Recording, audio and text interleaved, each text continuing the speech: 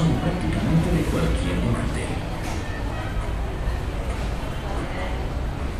Fui candidata para un nuevo corazón en unos cuatro meses, pero debido a mis anticuerpos no se ha podido hacer el procedimiento.